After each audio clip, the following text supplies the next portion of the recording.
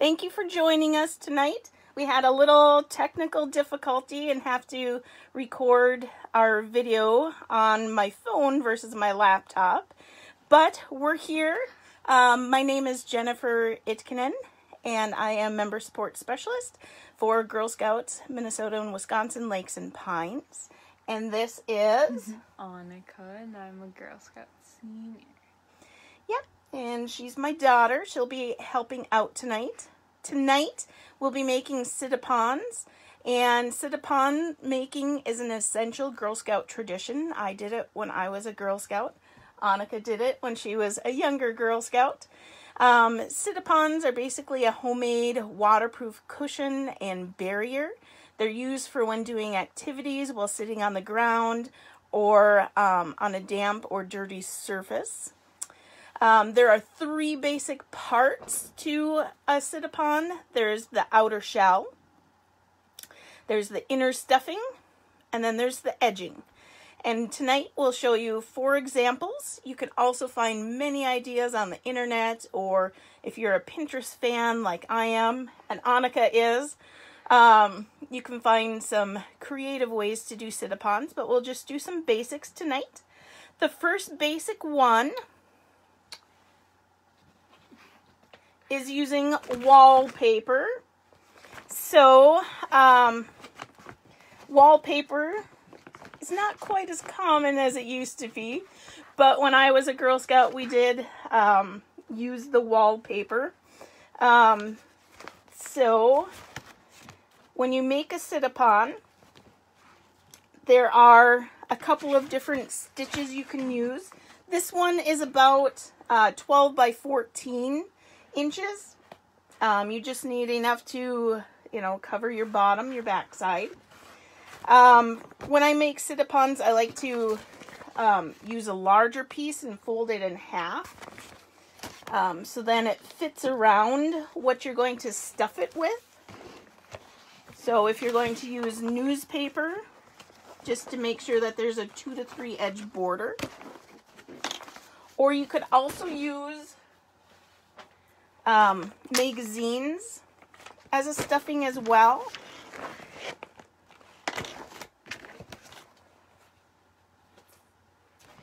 And so um, we're using the wallpaper as our outer shell.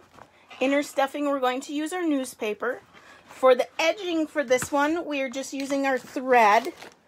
Um, and this is just cotton string. It's the same cotton string if you watched our sit-upon uh, video a couple weeks ago.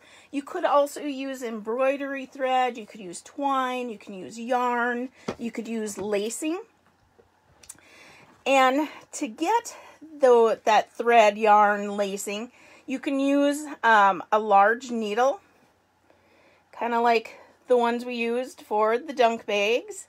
Um, and you just thread it through. I chose um, the blunt tip ones, especially if you're working with younger girls, the blunt tip needle. Um, it still will pierce through the wallpaper or our other outer shell items. But, um, so you can do that basic running stitch, which is where you come up. Running stitch I also call the up and down stitch.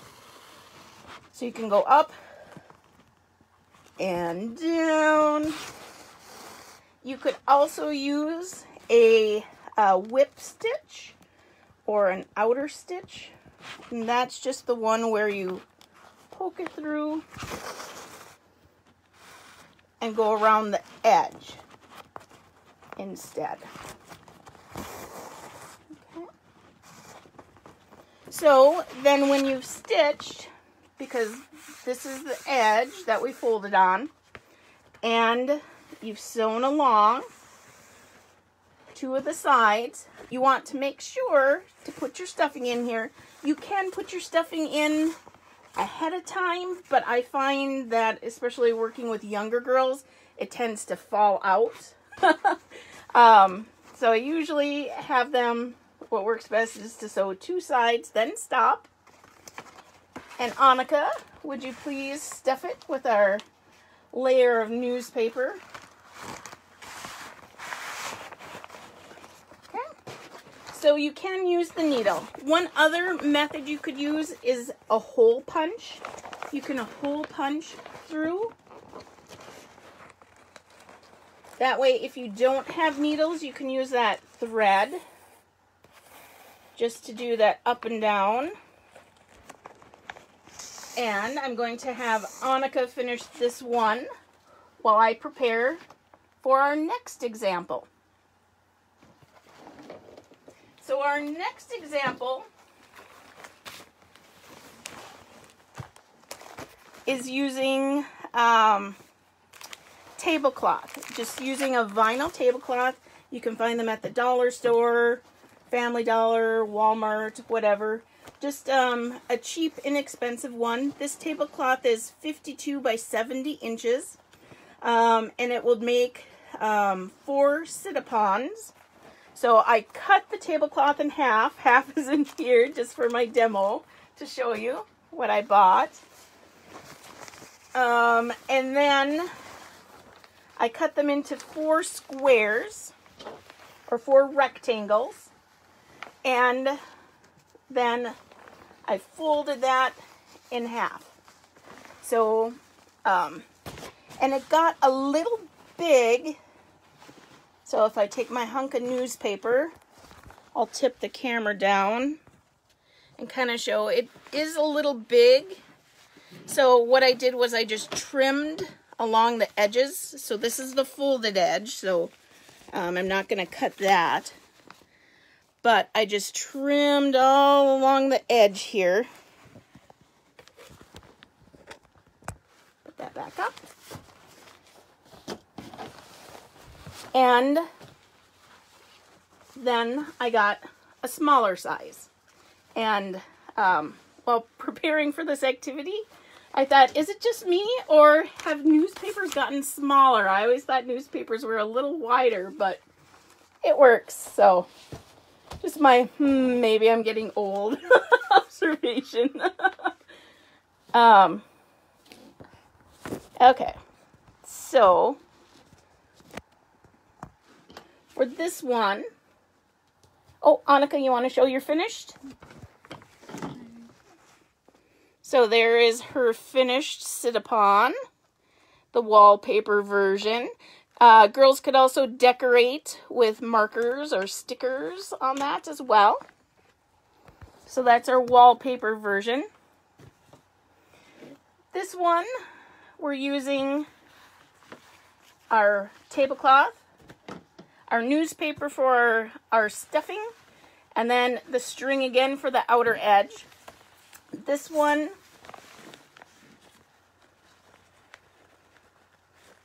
So you thread your needle.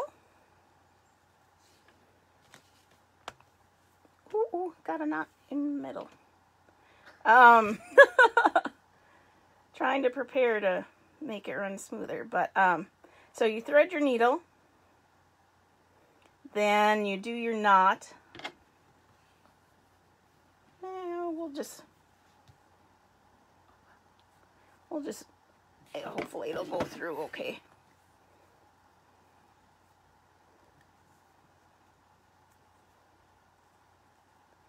do your knot. And that knot is down there, so should go through. And so if you have a needle, poke it through.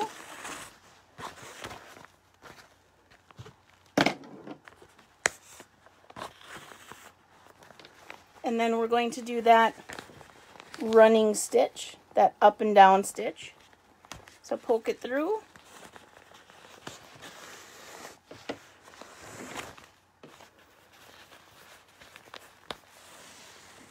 Up and down. Okay. Um, I'm going to have Annika finish this one as well. While um, I show you another example and um, how you can incorporate this into a troop activity. Now, with the wallpaper one, I said I did it when I was a Girl Scout. And so, and that it is a tradition. So when I was a Girl Scout, I used this book here. So just to show that it has been in um, Girl Scout books, Girl Scout guides for a long time. So this book is from the 80s. So Sit-upons are in that one. Sit-upons are in this book as well. I think this one is from the 90s on how to make them and have it a troop a girl activity. And currently, sit-upons are mentioned in our um, Brownie Guide, the Girl's Guide to Girl Scouting. And it just uh, talks about it in the Girl Scout way. So when I was a troop leader, I used this one um, in the Girl Scout way uh, badge that girls earned as brownies. In step five, enjoying Girl Scout traditions. And here on the edge, it shows how to make a sit-upon. So if you are a brownie leader or even a multi-age group, um, you could use this as a part of the Girl Scout way to earn their badge for that. Um, when Annika was little, we did this with her troop. And um, we made sit-upons using the tablecloths. And then we read the brownie story while we sat on our um, sit-upons out at the park where we met. It was really nice because there it was a community center and then there was a park nearby. So that's how um, I did it as a troop leader. You could also do it um, as a gearing up for camp. You could do it as an intro activity while you're waiting for girls to arrive. Um, so lots of fun different activities. How are you doing, Annika? Working on it? Yeah. Okay. Well, she's still working on that one. Our third example is using cardboard as that inner stuffing. And for this example, we used cookie cases. So we cut up the cookie cases. We use contact paper for the outer shell. And then um, the contact paper also served as our edging. And then girls can decorate. You could put photos. I've also seen um, a sit-upon that was um, using newspaper, but it was folded origami style, which looked really cool. Um, you could also use the contact paper maybe with um, the Sunday comic pages. That would kind of be a neat um, part, um, just to kind of make it unique and fun. So. Is that not really No. getting to you? No? Okay. So, this was another example.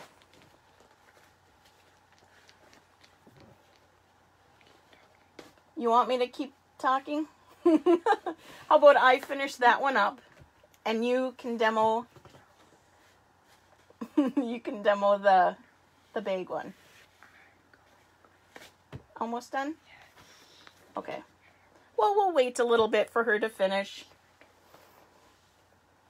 Um, so I want to thank you all for joining us tonight. Um, if you can um, leave a comment where you're from, um, what troop you're from, if you're from a troop. Um, also, if you have any questions we can answer. Um, sit-upons, it's kind of um, usually like with newspaper, you kind of measure. Usually it's, uh, they can be from 12 to 14 inches to 14 to 16 inches um, for that um, area. Or is it diameter? She's in geometry this year. Um, but um, I have also seen um, a sit-upon, and it was really cool. Um, using adult size jeans, you cut off the legs, um, and then you stuff them either with plastic bags um, or fiber fill. You could also use foam as an inner stuffing too. And then um, you stuff the jeans, you sew it up, sew all the holes, and then you can use a um, a string or yarn or even a belt to use as a carrying handle. Um, and then you can use, girls can use fabric markers or fabric paint to decorate that sit upon it. I really thought that that was a cool idea. Um, possibilities are endless. So, She's working away, working away. I'll just kind of explain. Our next example is going to be using um, um, a bag, a shopping bag um, that you can just find at uh, the dollar store, Walmart, um, Family Dollar is where we, I think we got ours from. Um, and then using duct tape as that edging. Um, duct tape. It's kind of fun. We got some fun colors. Um, this is Annika's leftover duct tape from her projects. So,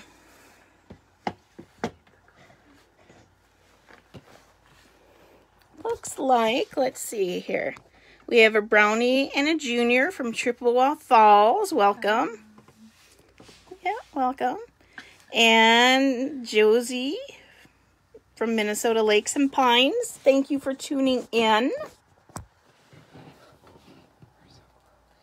So close, almost there.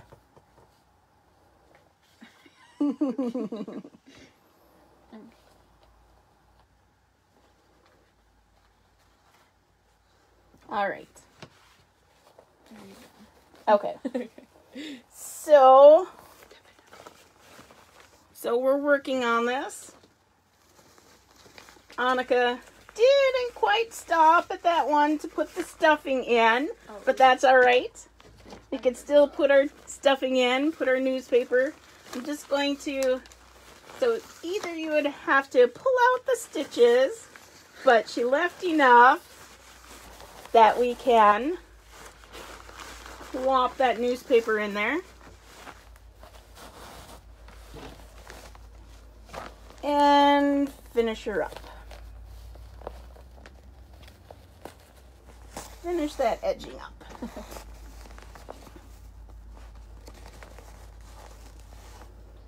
Sometimes when you work um, with the younger girls and you're making these sit-upons, um, sometimes frustrations come about, and that's okay. Um, just reassuring those your your girls that if they make mistakes, that's okay. It just creates character. So if your stitching isn't perfect, if you kind of have a loop like here, that's okay. We can work it out. We can make it fun. We can tie it off. No big deal. So it just makes it unique. So here we have this one. We're all done here. Sometimes too, when you're working with young girls and the long string here, um, it can get looped and knotted and and that's all right. So I'm just going through this hole twice and then pulling it through and tying a knot at the end. Voila. Tablecloth sit upon. Complete. With lots of character. All right. So our next one is, like I said, using that plastic bag. We've got our pretty princess bag here. And what we're going to do is we're going to put the stuffing in our newspaper ahead of time. And then because it's got some cloth here, we want our sit-upon to be waterproof. And so we're just going to duct tape the edges. And Annika, we did pre-cut our duct tape. so Annika will finish that up.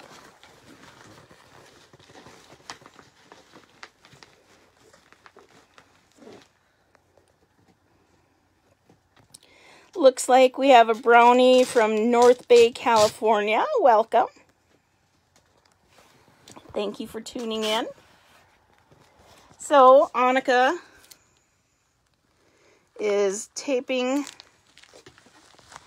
the bottom portion.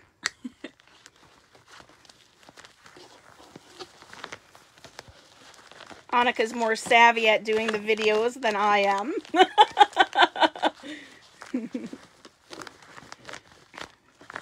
taping that.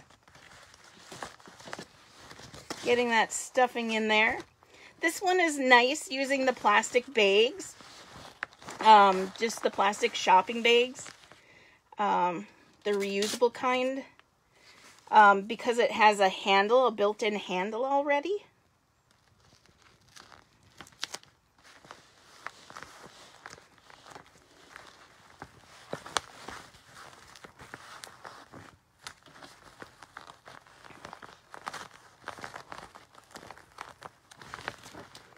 And working on it.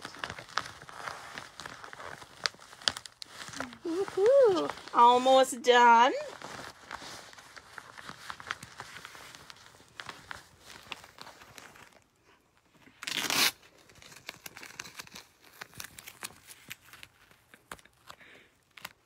So,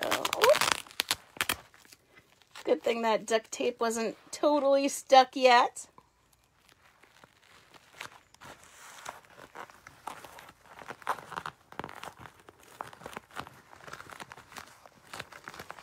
Also in the comments if you've made sit-upons and used different materials or have different ideas if you want to share how you did yours.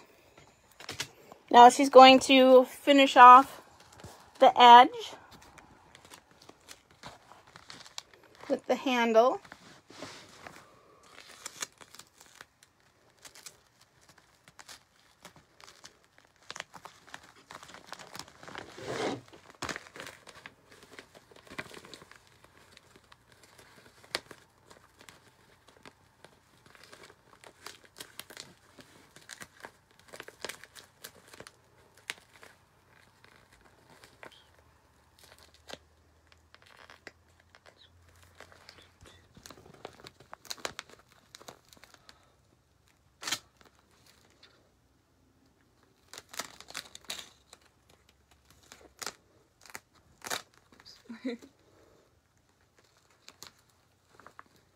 you could do this last part some different ways, make some small little duct tape pieces, um, go through the handles, cut it out. But this is the way Annika wanted to do it. So Girl Scouts is girl led, so I'm letting her lead by doing it how she thinks it should be done.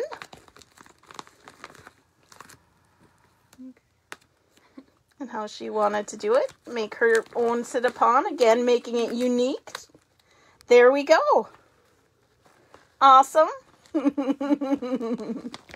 now we have to go outside and use them, huh? yeah. Annika has a science project she has to do, so maybe I'll take one of these sit-upons and watch her do her science project. For school, she has to count dandelions and plot them, so... Um, I want to thank you for joining us tonight.